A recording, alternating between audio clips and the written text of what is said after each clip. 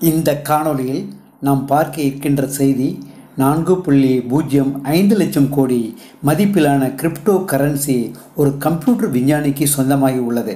மேலும் விவரங்களுக்கு காணொளி உள்ளே சென்று பார்க்கலாம். தயவுசெய்து இந்த காணொலியை முழுமையாக பார்க்கும்படி கேட்டுக்கொள்கிறேன். வாங்க காணொளி உள்ளே போகலாம். தாம் பிட்காயினை கண்டுபிடித்ததாக கூறும் கணினி விஞ்ஞானி கிரேக் ரைட் அமெரிக்க நீதிமன்றத்தில் நடந்த வழக்கு ஒன்றில் வென்று பல மில்லியன் டாலர் மதிப்பிலான பிட்காயினை வைத்துக்கொள்ள அனுமதி பெற்றுள்ளார். வழக்கை விசாரித்த நீதிபதி கிரேக் ரைட்டின் முன்னாள் வணிக கூட்டாளிக்கு பாதி பிட்காயினை கொடுக்க வேண்டும் என்று கோரிய வாதத்தை நிராகரித்துள்ளார்.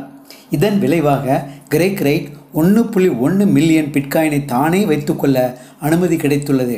இதன் மதிப்பு ஐம்பத்தி நாலு பில்லியன் அமெரிக்க டாலர் இந்திய ரூபாய் மதிப்பில் சுமார் நான்கு புள்ளி பூஜ்ஜியம் ஐந்து லட்சம் கோடி ரூபாய் என்பது குறிப்பிடத்தக்கது.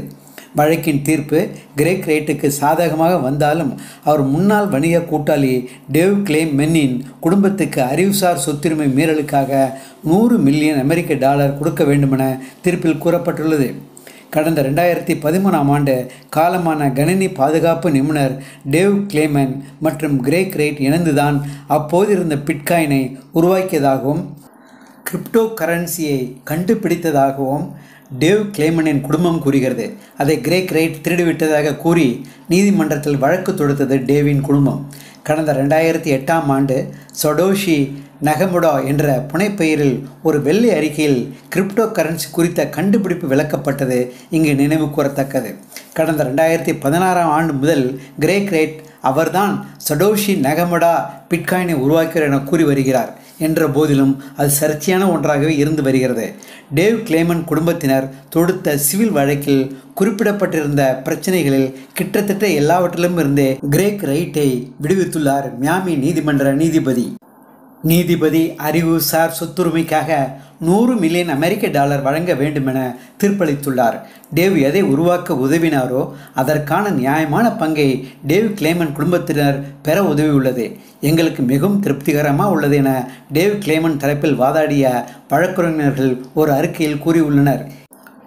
இந்த தீர்ப்பின் மூலம் அவர்தான் பிட்காயின் கிரிப்டோ கரன்சி நிறுவனர் என்பது உறுதியாகியுள்ளதாக கூறியுள்ளார் கிரேக் ரைட்.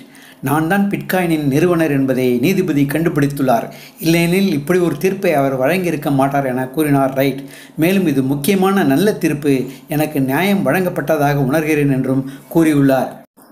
ஆக அன்பர்களே எது எப்படியாயினும் பிட்காயின் நான்கு புள்ளி பூஜ்ஜியம் ஐந்து லட்சம் கோடி ரூபாய் மதிப்பிலான கிரிப்டோ கரன்சி கிரேக் ரைட்டுக்கு சொந்தமாகி உள்ளது என்பதை நீங்கள் இந்த காணொலி வழியாக தெரிந்து கொண்டிருப்பீர்கள். மீண்டும் நல்லதொரு சந்தர்ப்பத்தில் அடுத்த காணொலியில் விரைவில் உங்களை சந்திக்க காத்து கொண்டிருக்கும் உங்களின் பேரன்பிற்குரிய பேராசிரியர் ரத்ன வடிவேல் பழனி அரவிந்தர் அன்னை அருள் சேனலில் இருந்து இந்த காணொலியை முழுமையாகவும் பொறுமையாகவும் பார்த்தமைக்கு மிக்க நன்றி. வணக்கம்.